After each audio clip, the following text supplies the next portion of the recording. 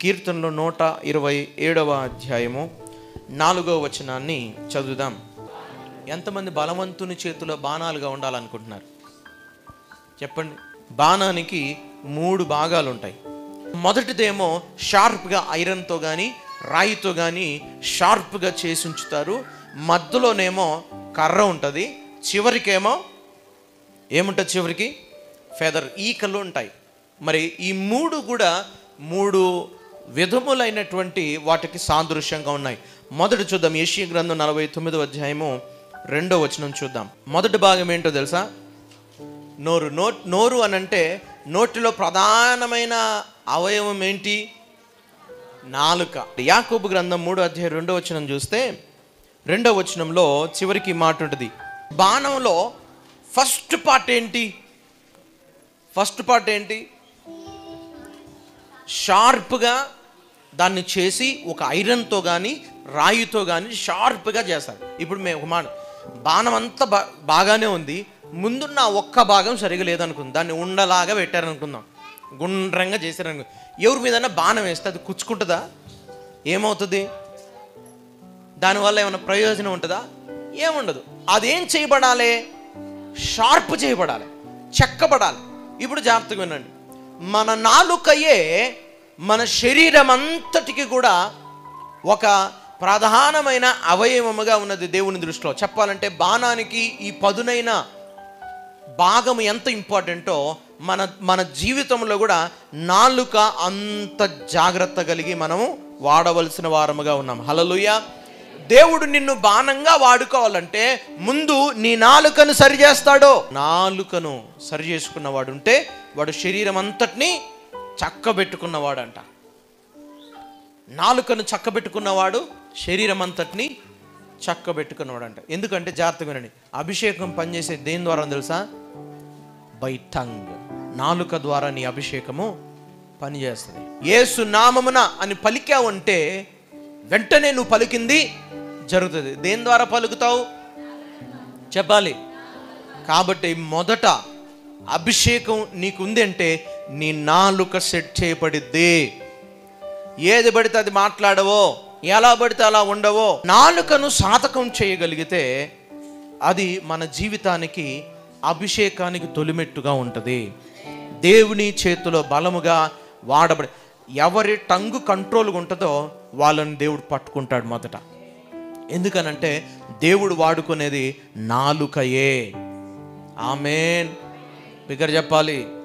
నువ్వు ప్రసంగించిన దేవుడు వాడుకునేది ఏంటి సహోదరుడితో మాట్లాడాలంటే వాడుకునేది ఏంటి ఎదుటి వ్యక్తిని ఎంకరేజ్ చేయాలంటే వాడుకునేది ఏంటి ప్రార్థన చేయాలంటే వాడుకునేది ఏంటి నాలుక. కాబట్టి అది పరిశుద్ధంగా షార్ప్గా నీట్గా దేవుడు దాన్ని ఏం చేస్తాడు? పదును చేస్తాడు మొదట. ఆమె బాణంలో రెండో భాగం కర్ర. ఇప్పుడు ఏ కర్ర అన్నా చక్కగా ఉంటుందా? స్ట్రైట్గా ఉంటుందా అండి? స్ట్రైట్గా వచ్చే కర్రలు ఉంటాయా? ఎంత వెదురు కర్ర అయినా ఎన్నో ఒక్కడి ఇట్లా బెండ్ అవుతుంది దాని అర్థం ఏంటంటే స్వభావమే అది. కర్ర దేనికి సాదృశ్యం అంటే స్వభావానికి సాదృశ్యం. దేవుడు ఒకవేళ నిన్ను తన చేతిలో వాడిగల బాణముగా చేసుకోవాలంటే వక్రీకరింపబడ్డ నీ స్వభావాన్ని ఆయన క్రమముగా షార్ప్ చేస్తాడు చక్కగా చేస్తాడు. ఒకవేళ కర్ర ఇట్టి వంకరుంది అనుకో బాణం వేస్తే ఇడిపోద్ది వంకర వంకర పోద్ది. అప్పుడు అది బాణంగా వాడబడిద్దా? మీకు విషయం తెలిసిన బాణాలు ఇటు తీసినప్పుడు అది వంకరుందనుకో దాన్ని వాడరు పక్కనేస్తారు. బలమైన బాణముగా నువ్వు ఉండాలంటే నీ బుద్ధి ఏం కావాలి?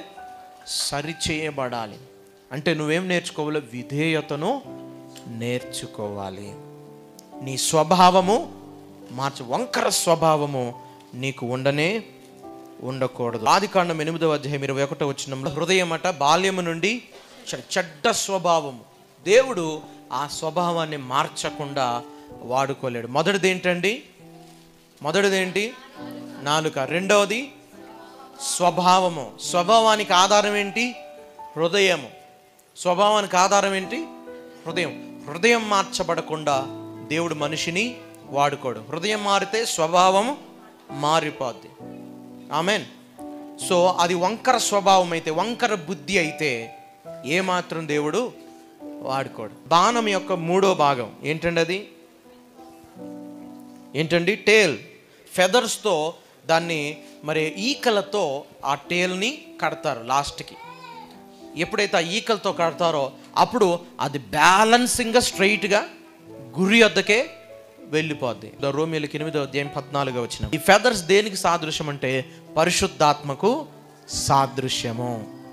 హలలుయ ఇప్పుడు దేవుని చేతిలో బలవంతుని చేతిలో బాణములుగా నువ్వు వాడబడాలంటే ఈ మూడు నీ జీవితంలో ఖచ్చితంగా ఉండాలి. పిలుపులకు మూడో అధ్యాయం పదమూడు పద్నాలుగో వచనంలో పిలుపే బహుమానం కాదు. ఆ పిలుపుకు ఒక బహుమానం ఉంది. ఆ ఉన్నతమైన పిలుపుకు కలుగు బహుమానమును పొందవలనని గురి యొద్దకు. ఒకవేళ గురి దొరకకపోతే గురి యొద్దకు వెళ్ళకపోతే బహుమానం దొరికిద్దా? అందుకే అందరూ వినాలి. నీ బహుమానం ఏందనంటే యేసు క్రీస్తు పోలికలోనికి మార్చబడమే ఆయనలాగా నువ్వు ఈ బహుమానాన్ని చూపించే సాతాను అబద్ధమాడి మోసం చేసింది. ఇప్పుడు నరుణ్ణి దేవుడు ఎవరి పోలికలో చేసుకున్నాడు? ఎవరి పోలికలో? ఆయన పోలికలను ఎందుకు చేసుకున్నాడు? ఆయనకే కెపాసిటీ ఉందో అదే కెపాసిటీ వాళ్ళకు కూడా రావాలని. ఈజ్ నాట్ గివెన్ ఎవ్రీథింగ్ దేవునిలో ఉన్నదంతా మనిషికి ఇవ్వలేదు. మనిషిని జస్ట్ సృష్టించుకున్నాడు. వారి నమ్మకత్వాన్ని బట్టి దేవునికున్న శక్తిని అభిషేకాన్ని వారికి దేవుడిస్తాడు. సైతాను అదే అనింది.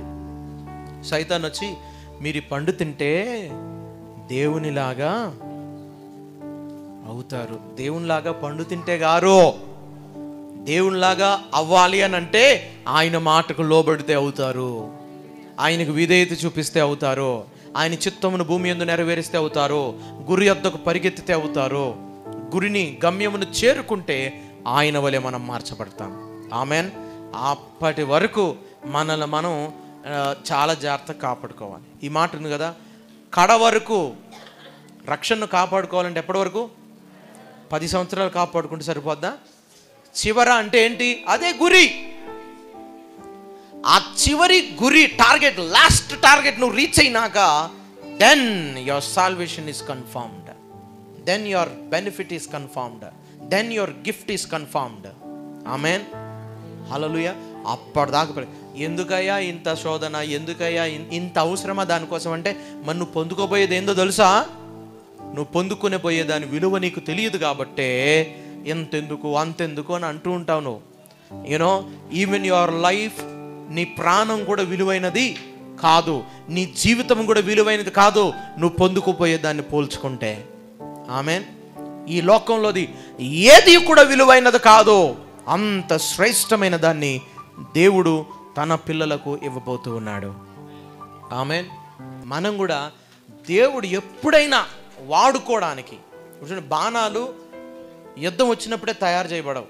యుద్ధానికి ముందే తయారు చేయబడి ఆ అంబుల పొదిలో పెట్టబడతాయి. అవసరం వచ్చినప్పుడు ఏం చేస్తాడు? బాణాన్ని తీసి కొడతాడు.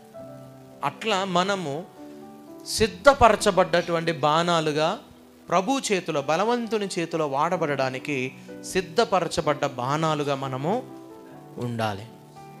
ఆమెన్.